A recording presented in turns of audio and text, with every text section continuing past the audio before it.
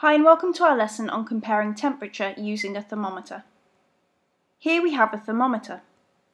We use it to measure temperature. We measure temperature in degrees Celsius.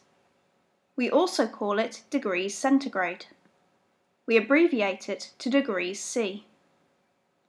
We can read the temperature by seeing which number the mercury reaches.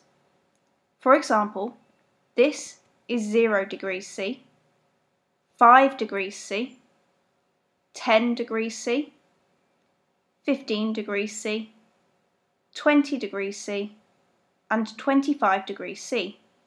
We have counted up in fives. The temperature on Monday was 5 degrees C, and the temperature on Tuesday was 10 degrees C. How much higher was the temperature on Tuesday? To work this out, we need to find the difference between 5 and 10. We can do this by either counting on from 5 or we can find 10 take away 5. 10 take away 5 equals 5. The temperature was 5 degrees C higher on Tuesday. The temperature outside is 10 degrees C and the temperature inside a house is 18 degrees C. How much higher is the temperature inside the house? To find the difference, we could count on from 10, or we could subtract 10 from 18. 18 take away 10 equals 8. The temperature inside the house is 8 degrees C higher than outside. The temperature in Sydney is 26 degrees C. The thermometer shows that the temperature in London is halfway between 22 and 24 degrees C.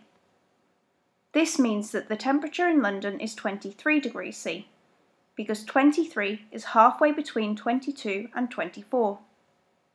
How much lower is the temperature in London? To find the difference, we could count on from 23 or we could subtract 23 from 26. 26 take away 23 equals 3. The temperature in London is 3 degrees lower than in Sydney. The daytime temperature in New York is shown on this thermometer. It's two increments higher than 15. To find its value, we can count on from 15 we have 16, 17. So the temperature is 17 degrees C. The nighttime temperature is shown on this thermometer. It's three increments higher than 5. To find its value, we can count on from 5. We have 6, 7, 8. So the temperature is 8 degrees C. How much lower is the temperature at night? We could work this out by counting on from 8, or we could subtract 8 from 17. 17 take away 8 equals 9.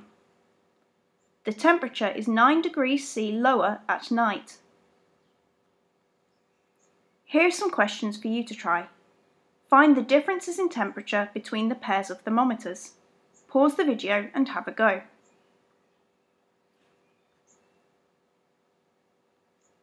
Question 1. Thermometer A reads 25 degrees and thermometer B reads 15 degrees. 25 take away 15 equals 10. So there is a difference of 10 degrees C. Question 2. Thermometer A reads 26 degrees C and thermometer B reads 14 degrees C. 26 take away 14 equals 12. So the difference in temperature is 12 degrees C. Question 3. Thermometer B reads halfway between 18 and 20 degrees. So it must be 19 degrees C.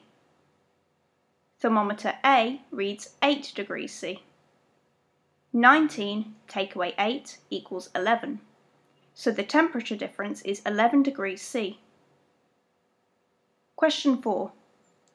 Thermometer B reads 21 degrees and thermometer A reads 7 degrees. 21 take away 7 equals 14. So the difference in temperature is 14 degrees C. Thank you for watching. If you would like further practice, more questions are available on our website.